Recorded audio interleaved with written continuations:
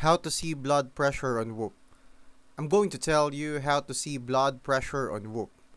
The Whoop fitness tracker doesn't measure blood pressure directly, like a traditional cuff, but it provides insights into your cardiovascular health through heart rate variability, resting heart rate, and strain metrics.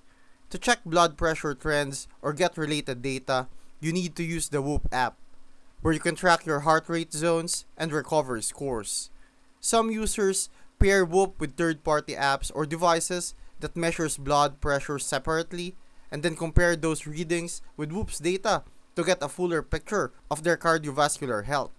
So while you can see your actual blood pressure numbers on Whoop itself, the platform helps you understand your body's stress and recovery patterns, which relate closely to heart health.